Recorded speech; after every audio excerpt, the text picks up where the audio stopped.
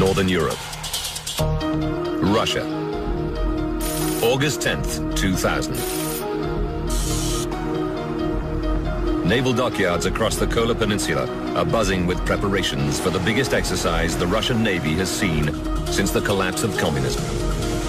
Over 30 vessels will be involved, including six submarines. It'll be a show of strength for a nation under siege. The civil war in Chechnya has taken a new and menacing turn with a spate of suicide attacks across Russia. The entire country is on edge, and this exercise aims to restore confidence in the Federation's power. 9 p.m. The submarine Kursk is undergoing final engineering checks in the highly restricted Zapadnaya Litsa naval dockyard. Created to attack American aircraft carrier battle groups, she's at the cutting edge of Russia's defenses. Powered by two nuclear reactors, she's 150 meters long and as high as a six-story building. More than twice the size of a jumbo jet. Kursk's unique double-skinned hull and nine watertight compartments mean that she can take a direct hit from a torpedo and survive. Lieutenant Captain Dmitry Kolesnikov is enjoying a final cigarette before boarding Kursk. This is Dmitry's 27th birthday, and he's missing his new wife. Olga and Dmitry were married only four months ago. Our wedding was in April 2000. It was very modest because we were in a hurry. Soon after they were married, Dmitry gave his new wife a tour of the Kursk. He wanted Olga to feel the same confidence in the submarine that he did. I did not expect a submarine to be so enormous. The tour takes in the torpedo room. Next to this is the command center. Towards the back of the boat, Dmitry shows Olga the propulsion control station, where he is section captain. When she gets to some of Kursk's more unusual features, a sauna and a swimming pool, Olga can see why Dmitry is so happy on Kursk. I could see she had a right to be loved. The sub has two escape hatches and an escape pod big enough to evacuate the entire crew in one go. Olga is satisfied that Dmitry is on board one of the safest submarines in the Navy's history. 9.30 p.m. Dmitry rejoins his crewmates. Although this mission will be a five-day exercise, Kursk and her crew are always prepared for real combat. And the sub bristles with weapons. She carries 24 cruise missiles in silos on each side of the fin. And in Kursk's bow is her torpedo room. There are six torpedo tubes and space for 24 torpedoes. The crew has been joined by Mamed Gadzhiev, a torpedo engineer on board to monitor some experimental torpedo batteries. Gadzhiev is from Dagestan, which borders the troubled Chechen region. At 10.30 p.m., in the half-light of an Arctic summer's evening, Kursk puts to sea. Friday, August 11th. In the Barents Sea, 140 kilometers from shore, the naval exercise is in full swing.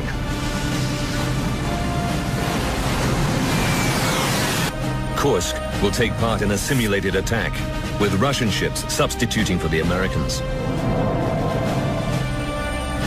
Her commander is Captain Gennady Lyachin, an unashamed product of the Soviet system, one of the Navy's most experienced men. 2 p.m. The crew prepares to launch a cruise missile. Their target is Peter the Great, the flagship of the Northern Fleet. In the cash-starved Russian Navy, it's very unusual to fire a real missile, and the men are nervous. They know that Russia has a secret history of accidents with these weapons. In 1989, the sub Komsomolets developed a fuel fire in a missile silo. An emergency blow brought the sub to the surface, but her nuclear reactors were shut down. Helpless without power, the fire destroyed the sub and she sank, killing 41 sailors.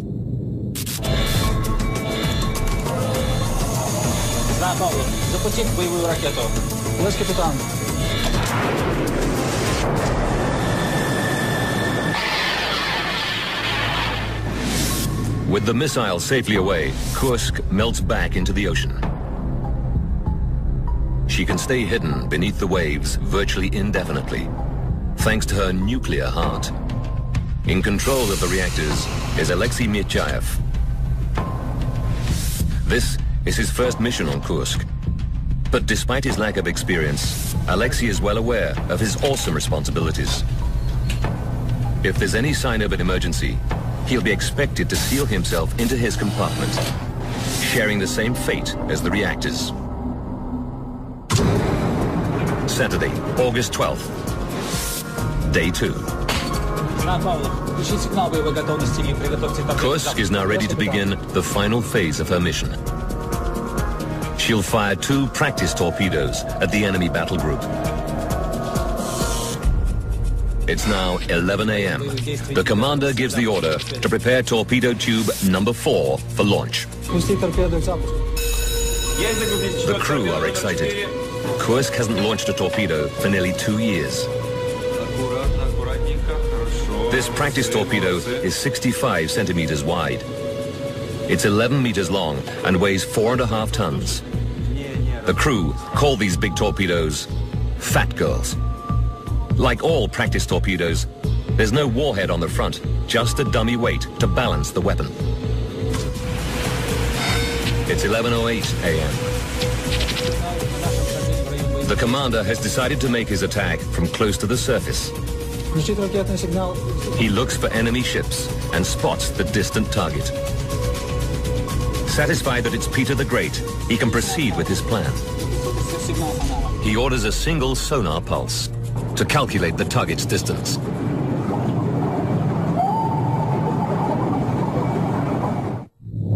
The battle group will be fired on by six subs as it passes through the exercise area. Kursk is second in line. 1117. The commander gives the order to slow to six knots. The instructions are passed to the rear of the sub, where, in propulsion control, Dmitry Kolesnikov knows that such a slow speed means the commander is preparing to fire the torpedo. 1120. The Fat Girl is finally slid into position. As the torpedo door closes, an electrical connection is made between the torpedo and a monitoring system. It's 11.27 and 30 seconds. The commander takes a final look in the periscope. Kursk is poised to launch the first of her torpedoes at the enemy battle group.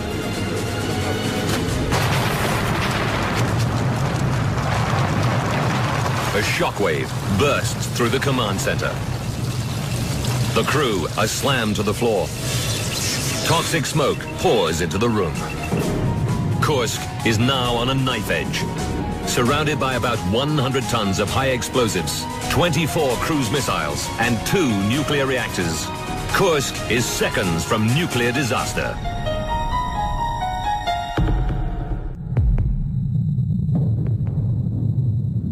An explosion tears through the torpedo room of the giant Russian submarine Kursk.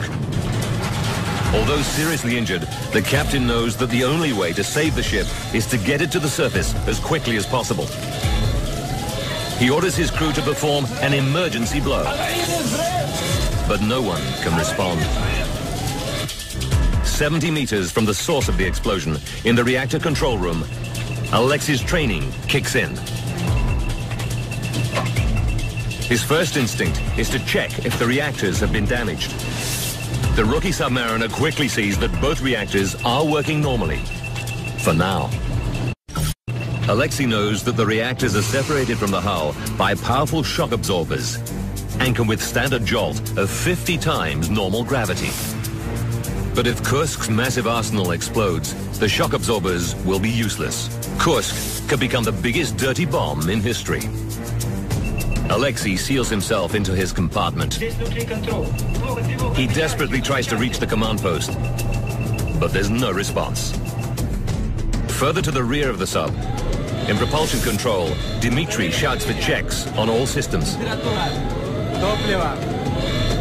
But he knows something is seriously wrong. Why doesn't he feel the upward surge of an emergency blow? Турбина отделение, лейтенант Колесников. Вызывай командную трубку. Back in reactor control, Alexei faces a terrible dilemma. It's critical that he delivers maneuvering power to the commander. But he must also be prepared to shut down the reactors to avoid nuclear catastrophe. The wrong decision will put the entire crew in jeopardy. In the command post, the air has become superheated and poisonous. The commander and most of the men are dead. With no word from the commander, Alexei braces himself to shut down the reactors. отделение, лейтенант Калашников. 11.30. 135 seconds after the first explosion, another detonation rips through the front of Kursk.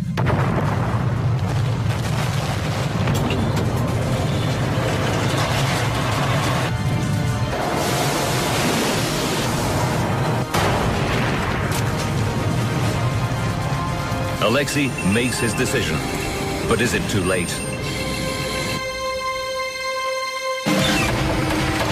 Control rods slam into the reactor cores and the nuclear reactors shut down. Dmitri and his men lie where they've fallen and wait for the inevitable impact on the seabed.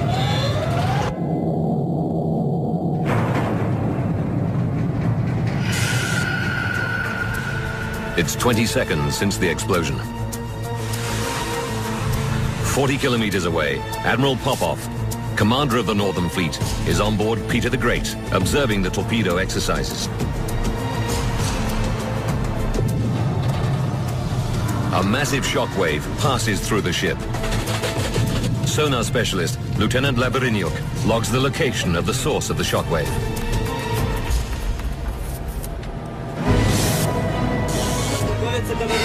11.31. Dmitry Kolesnikov and his crewmates are amazed that they're alive. But could the reactors still blow? Dmitry immediately asks about the state of the reactors. To his relief, he learns that they're safely locked down. The nuclear threat is over. But Dmitry knows that he and his men now face a desperate fight for survival. Although only 27, Dmitry Kolesnikov assumes command. The men know from the scale of the damage that they won't be able to reach the escape pod in the fin. The only way out for them is through the rear escape hatch, right at the back of the submarine.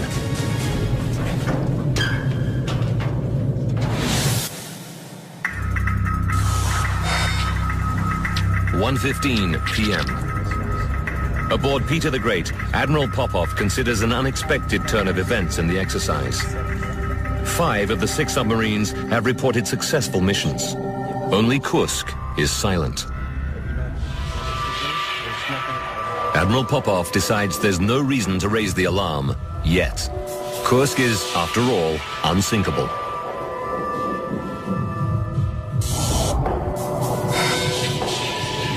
One thirty p.m. Two hours since the explosions. A sailor beats out the special hammering code that'll locate their position to rescue us. Meanwhile, Dmitry Kolesnikov calls for the men to yell out their names and carefully writes them down. He begins to log the events that have brought the men to compartment 9. 11.30 p.m. 12 hours after Kursk was ripped apart by two explosions, the Russian fleet finally declares an emergency. A full-scale search and rescue operation begins. And the Navy's submarine rescue squad is scrambled. On Peter the Great, the sonar operator identifies the location of the underwater explosion that he logged that morning.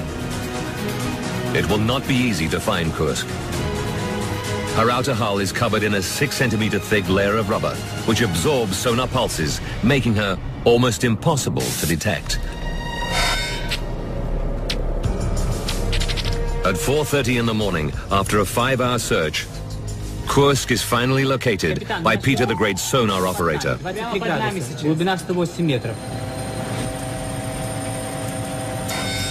Monday, August 14th. Across Russia, news is leaking out about a submarine disaster.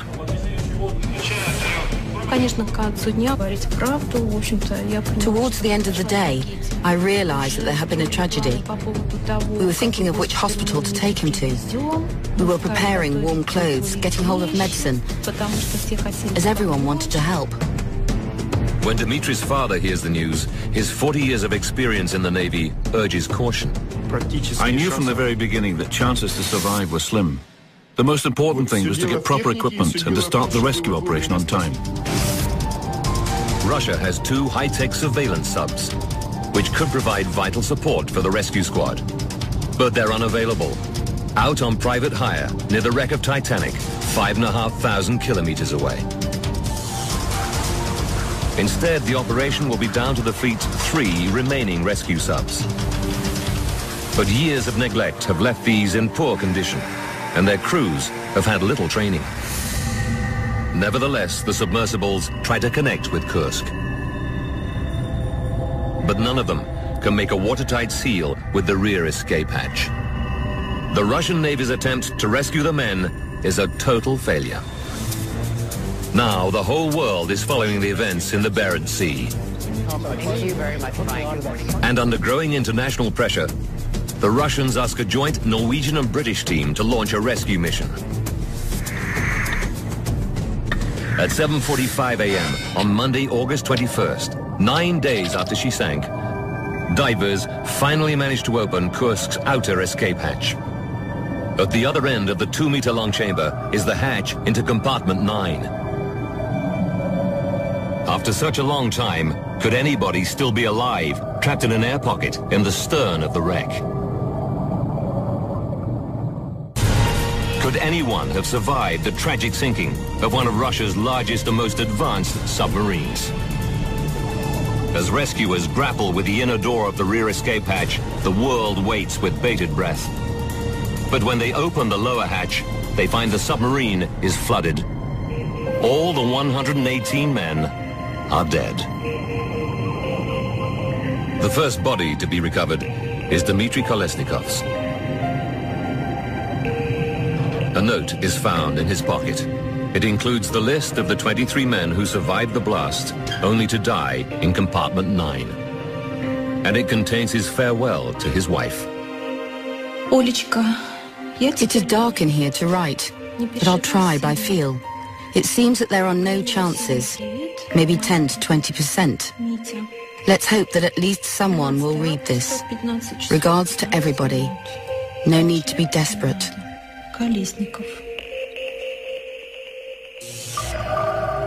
But how could the unsinkable Kursk be so completely destroyed? What crisis could develop so quickly that the crew were unable to bring the submarine to the surface? And why did no one manage to escape?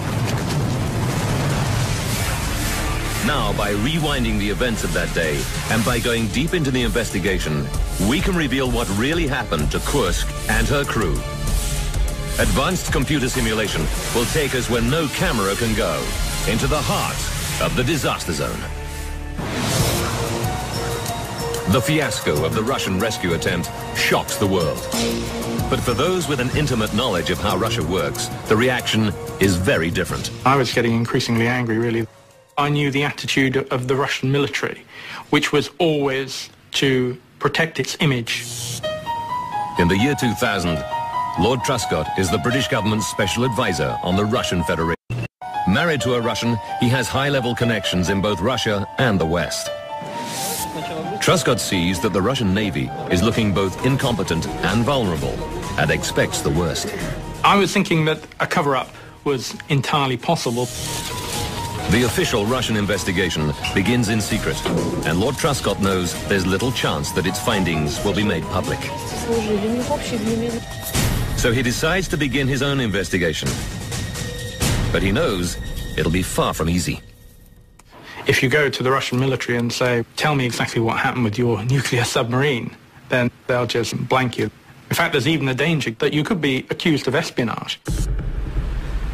Utilizing his unique contacts, Truscott begins to sift what little information he can find. I considered all theories that came forward and I looked at every one. Out of the blue, the Northern Fleet announces that Kursk could have been sunk by a World War II mine. These were originally laid in their thousands by the Russians to trap German U-boats. A typical mine carries around 230 kilos of high explosive, detonated by contact or a magnetic disturbance.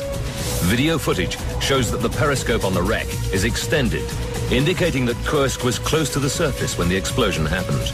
An old mine must be a possibility. Truscott checks with mine experts and sub-designers. They tell him that a static mine simply doesn't have the energy to penetrate Kursk's outer hull. This is a billion dollar submarine that was designed to survive a direct hit from a modern missile. It's unlikely to be sunk by a 50 or 60 year old mine. The Navy's theory that a sea mine sank Kursk just doesn't stand up. Two days after the catastrophe, Lord Truscott is presented with another chilling possibility. Terrorism. A Chechen news agency makes the astonishing claim that a crewman blew up both Kursk and himself in support of Muslim fighters in Chechnya. There were Russian soldiers being killed in Chechnya at the time. People were thinking about Chechen terrorism. So when the Kursk went down, people thought, could this possibly be a terrorist attack?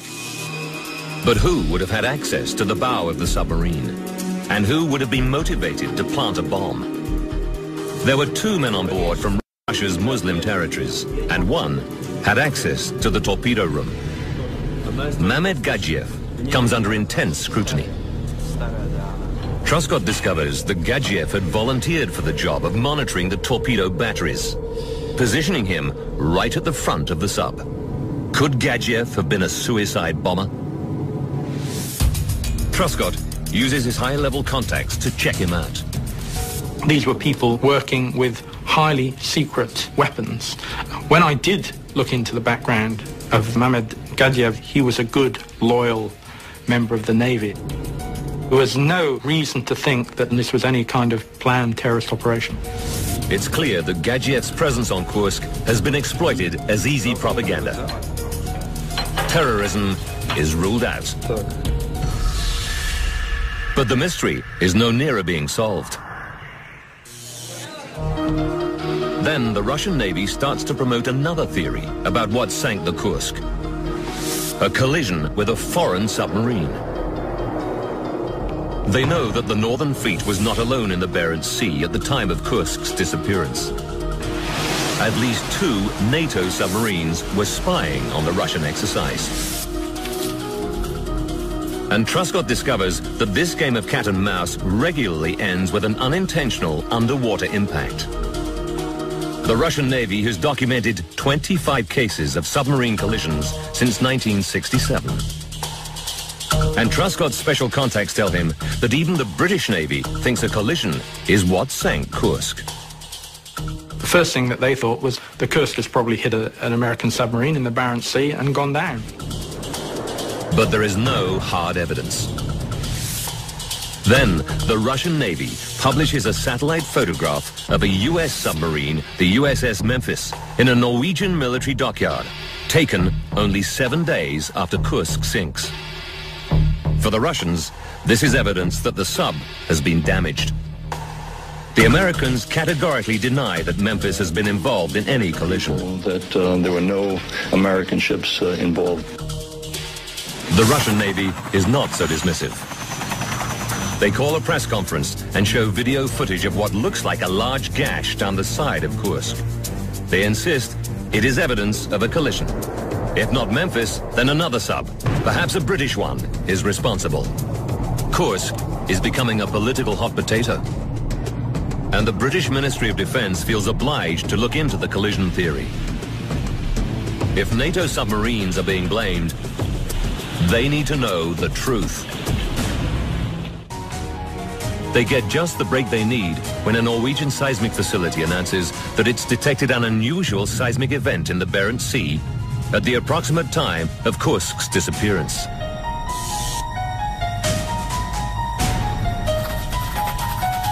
Could this echo of Kursk's death throes contain evidence for a collision?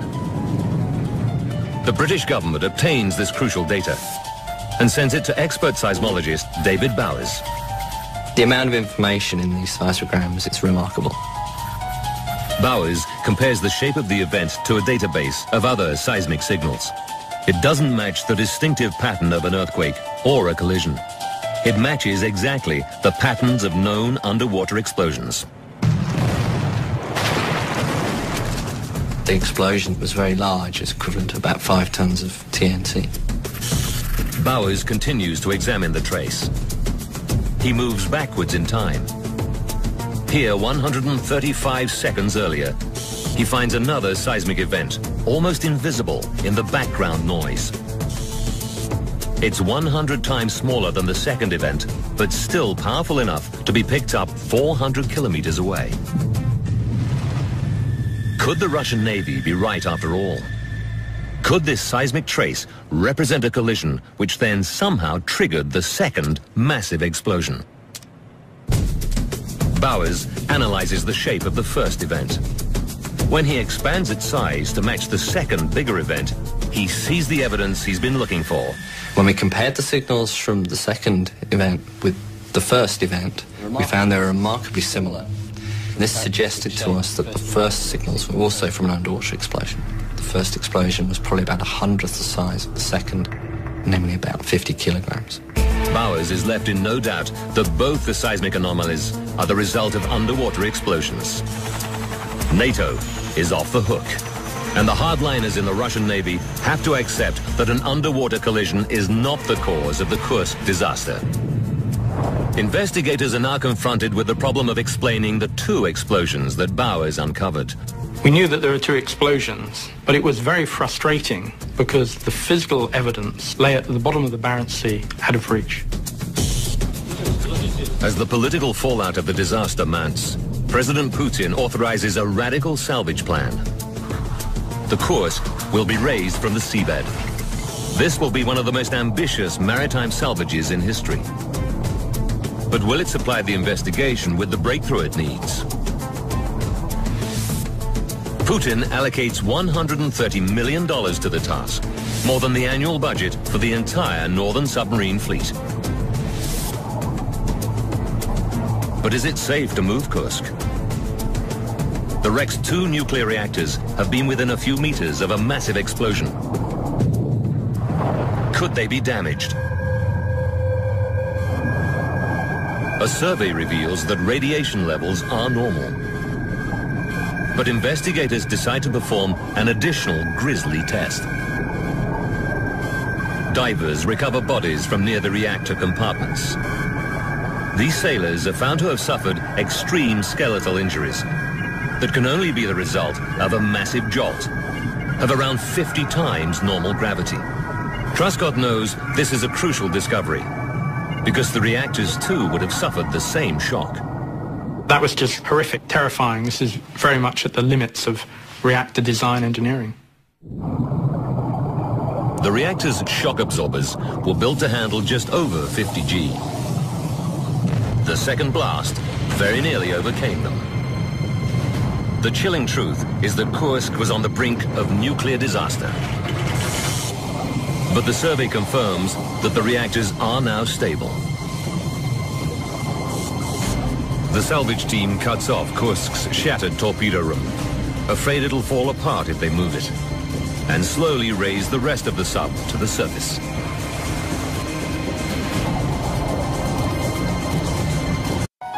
Fourteen months after she sank, Kursk arrives at a secretive naval dockyard on the Kola Peninsula. Investigators take four days to drain her, careful to preserve the evidence she contains. Forensic specialists begin work on the immense wreck.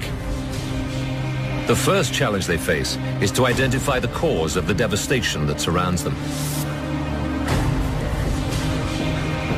They quickly establish that all the crew's missiles are intact. So their attention turns to Kursk's torpedo arsenal. Although the torpedo room has been left on the seabed, by analyzing the distribution of damage on the remaining wreck, they deduce that between five and seven torpedoes exploded at virtually the same time. This corresponds to the four and a half ton blast predicted by the seismic data. Truscott is confident that the cause of the second killer blast has been identified.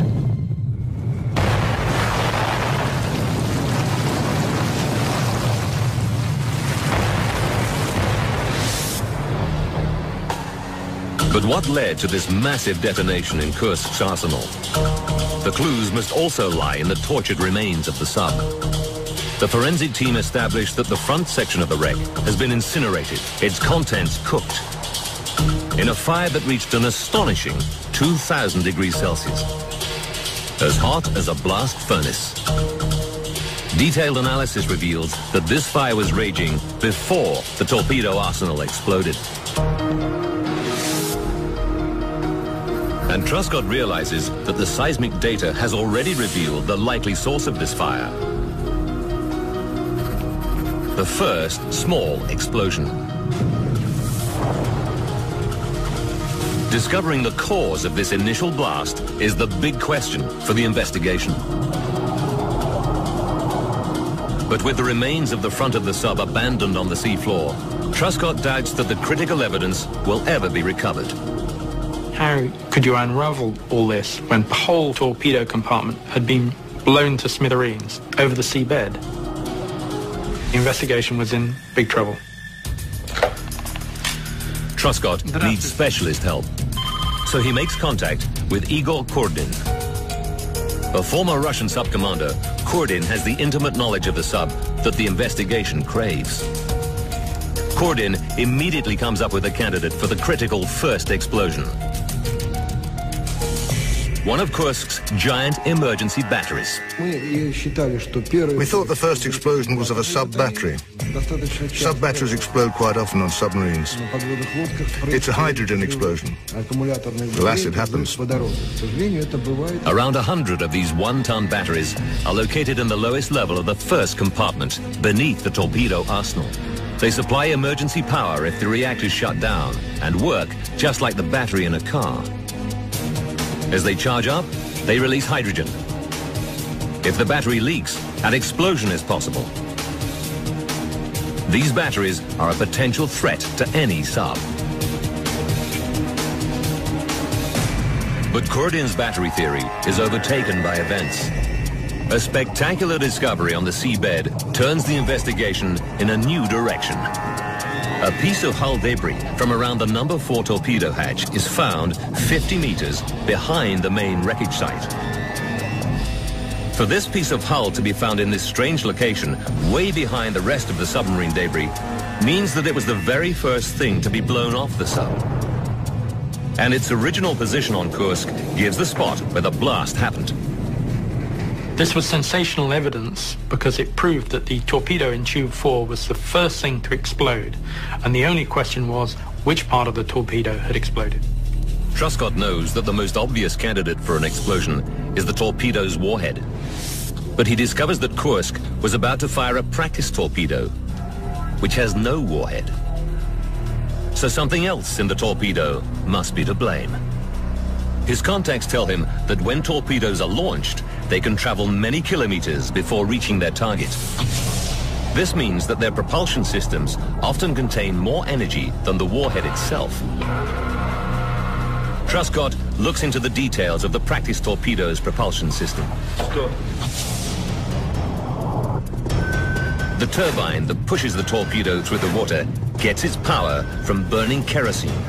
But underwater, where there's no air, the oxygen needed to react with the fuel is stored in the form of concentrated hydrogen peroxide, HTP. On paper, this propulsion system is efficient and foolproof. But Truscott is told that HTP has some disturbing properties. He's advised that when certain metals, or even rust, come into contact with HTP, they act as a catalyst. The hydrogen peroxide breaks down into oxygen and steam and lots of heat. the volume of gas increases 5,000 times in a split second. In a torpedo, this can be a deadly force. I was amazed to discover that HTP torpedoes were extremely dangerous, especially if they weren't handled properly. Truscott uncovers a series of naval accidents involving HTP. The most infamous of these happened in 1955 on a British sub, HMS Sidon. During routine weapons loading, one of her new HTP torpedoes exploded in the launch tube. 13 men were killed. The lesson of HMS Sidon was that the world's navy should abandon HTP. And that was learnt by everyone, but not by the Soviet Union. Could Kursk be another victim of this chemical time bomb? Igor Kurdin examines the possibility that an HTP propulsion system could be at the root of the Kursk disaster. He begins by calculating the likely explosive yield of the propulsion system. The result is between 50 and 100 kilos of TNT, roughly the same size as the explosion on the seismic trace. With the numbers stacking up, an HTP accident looks increasingly likely. But Kurdin knows that all HTP torpedoes have safety features aimed at preventing dangerous pressurization inside the torpedo. Could the torpedo's safety systems have been damaged? Kurdin uses his special contacts to obtain the maintenance records of Kursk's practice torpedo. What he discovers shocks the veteran commander. The torpedo came from a batch of 10 made in 1990. Six of these were immediately rejected because of faulty welding. He's told that the welding on the practice torpedo was never checked. It was thought unnecessary because it didn't have a warhead. Igor Kurdin is forced to conclude that shoddy welding probably allowed HTP to leak out of the practice torpedo with terrifying consequences. But where is the proof? A painstaking search through the thousands of metal fragments recovered from Kursk eventually pays off. Parts of both the torpedo and the launch tube are found with distortions and heat damage that are consistent with the torpedo exploding about halfway down its length, right by a critical weld.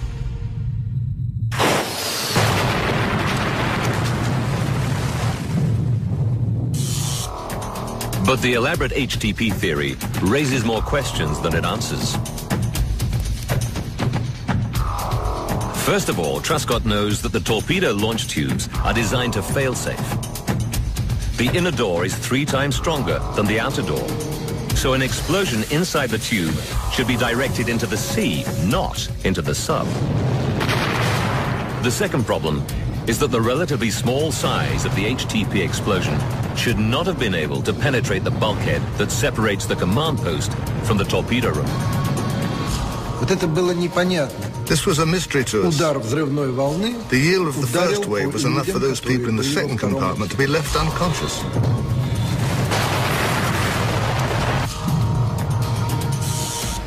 The only way these paradoxes can be resolved is by revisiting Kursk's rusting hulk.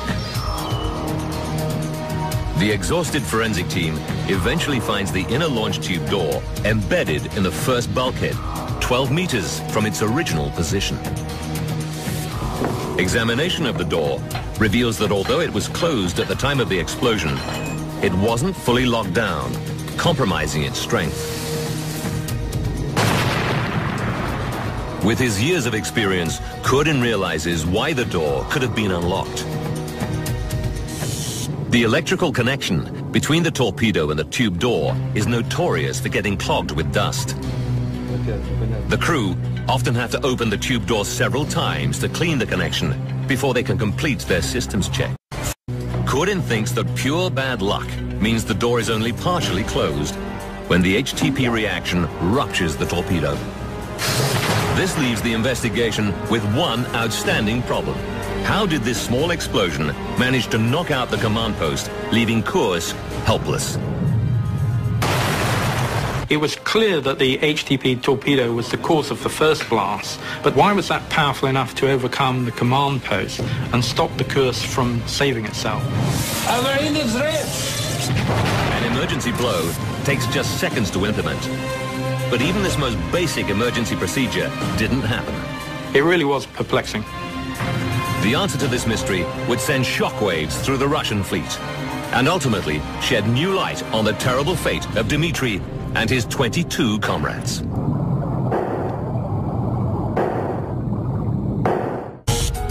Once again, Truscott consults expert submariner Igor Kurdin. Kurdin knows that the bulkhead separating the first two compartments should have been easily strong enough to contain the first explosion in the torpedo room. So he starts to look for potential weak spots in the design of the front part of the submarine. His suspicions quickly focus on the ventilation system. He notices that a ventilation duct carries air in a circuit that covers the first four compartments. 40 centimeters in diameter, the duct penetrates the reinforced bulkheads, but itself is made of light alloy. It's just a usual ventilation pipe, just like in a house or in an office. When the explosion happened, the ventilation pipe burst immediately. The pressure wave from the first explosion simply traveled down this duct and exploded into the command post, shattering the ducting and feeding flame and smoke into the compartment. Before they can even press the emergency alarm, they're overcome by the fire, the smoke. It's total wipeout.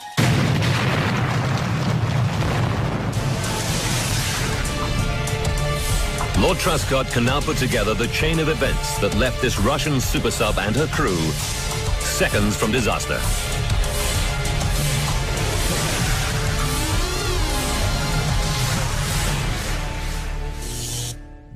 August 12th, 2000. Five minutes and 30 seconds to disaster. Kursk prepares to launch a practice torpedo at Peter the Great. Скорость 6 узлов. As the commander maneuvers Kursk, in the front of the sub, the torpedo is leaking HTP into the launch tube. And a puddle of HTP forms. The torpedo crew open the tube to clean the electrical connection. 135 seconds to disaster. The liquid contacts a patch of rust and instantly expands 5,000 times in volume. The pressure spike shatters the torpedo casing and splits the kerosene tank. Superheated steam ignites the kerosene, which burns the free oxygen. And a fireball fills the torpedo room, killing the men instantly. The blast wave bursts through the ventilation pipe into the command center. As seawater jets in through the launch tube, Kursk begins a gentle dive.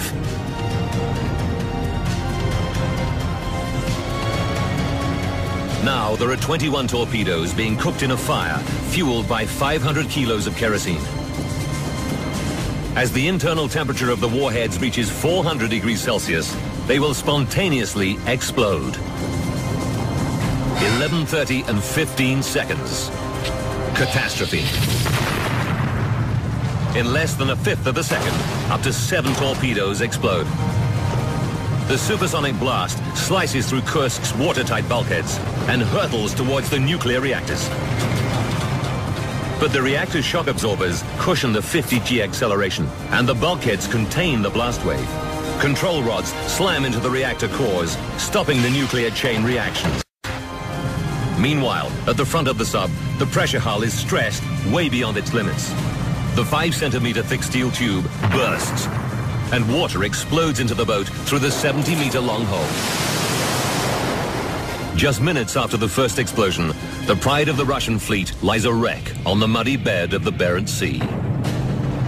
A tomb for 118 men. With the recovery of the bodies, pathologists conclude that for most of the sailors, the end was swift. But 23 men at the rear of the sub clung on to life for up to eight hours after the explosions. Igor Kurdin uses a lifetime's experience to create the full horrific account of their struggle for survival. The men are only 108 meters below the surface, and they've been trained to ascend from this depth in their escape suits, one by one through the hatch. But it's dangerous. If no one spots them when they reach the surface, they'll freeze to death. To go up into the open sea, they'd be carried out into the open ocean, get frozen and get lost without trace. They were waiting for one ship to be above the submarine. The sailors have plenty of food and water, and there's enough air in the compartment to last for several days if they're careful. But each time the men breathe out, they exhale carbon dioxide. Even at low concentrations, this toxic gas can kill. To counteract this threat, the sub is fitted with air scrubbers, chemical plates designed to strip the CO2 out of the air. In the thickening atmosphere, the sailors hang the scrubbers from the pipes. Kurdin discovers that the sailor's fate is linked to these life-saving devices. The forensic report describes evidence of a fire in compartment 9, and air scrubber cartridges are found in the fire debris. Kurdin knows that these cartridges explode into a vicious chemical fire if they come into contact with oil or water. A dreadful picture of the sailor's last moments is forming. The men are hanging up another cartridge, but in the darkness and the cold, they're becoming clumsy. The cartridge falls into the oily water. The chemical reaction starts a fire. This sucks oxygen out of the air, leaving the men to breathe in carbon monoxide from the flames. Death follows quickly. You know, on one hand, I'm proud of Mitya, because in such terrible circumstances, Mitya was able to pull himself together and not lose control over himself and others. But on the other hand, I think this kind of death is a hellish death. I think if it's time to die, let the death be instant. In the wake of the disaster, the Navy removes all HTP torpedoes from Russian submarines. But the official report finds no individual is to blame. No one will ever know for sure if nuclear technician Alexei Mityayev took the decision to shut down the reactors. If he did, then his heroic action may have prevented another Chernobyl.